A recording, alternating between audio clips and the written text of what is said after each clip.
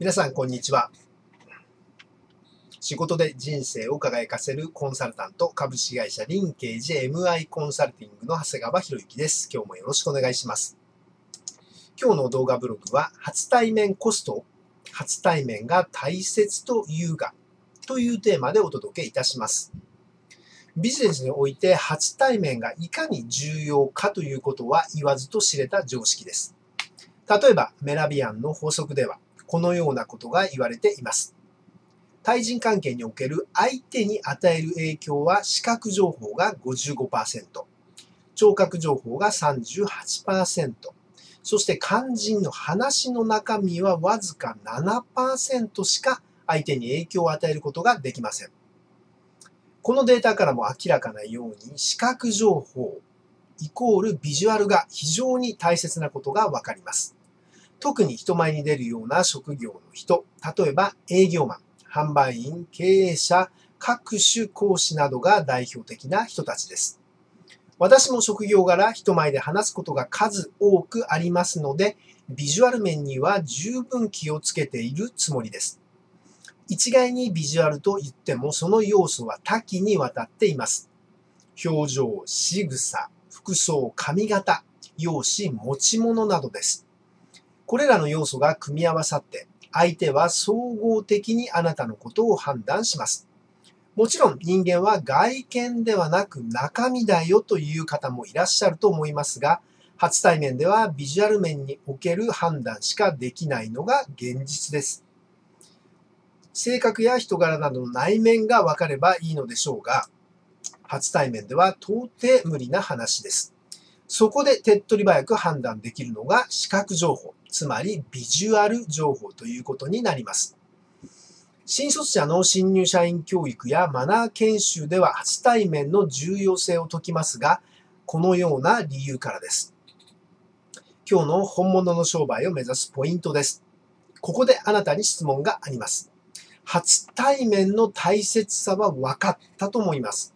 では、初対面にいくらくらいのコストをかけているでしょうか？私はこれを初対面コストと呼んでいます。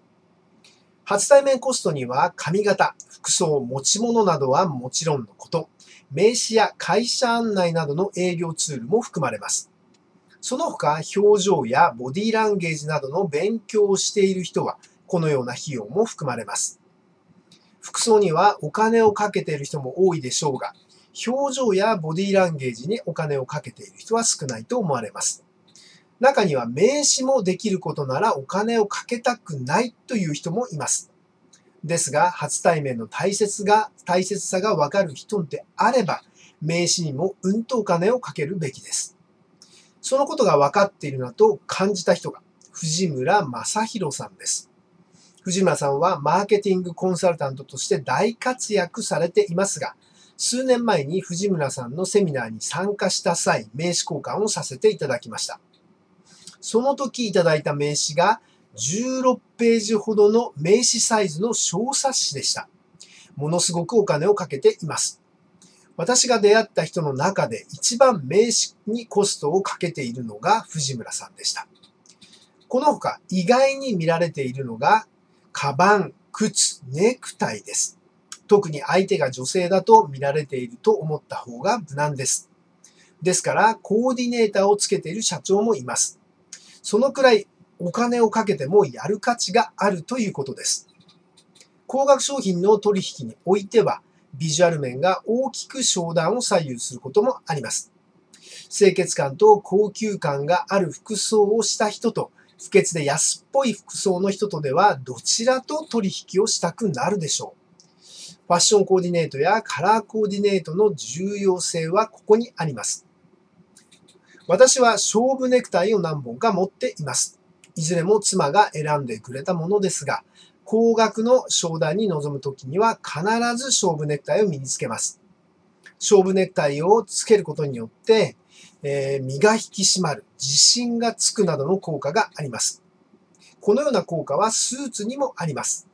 やはり居心地が良くて、シワ一つないスーツの方が気持ちも引き締まります。商談が成立する確率も高いのではないかと思います。今日も最後までご覧いただきましてありがとうございました。仕事で人生を輝かせるコンサルタント、株式会社リンケージ MI コンサルティングの長谷川博之でした。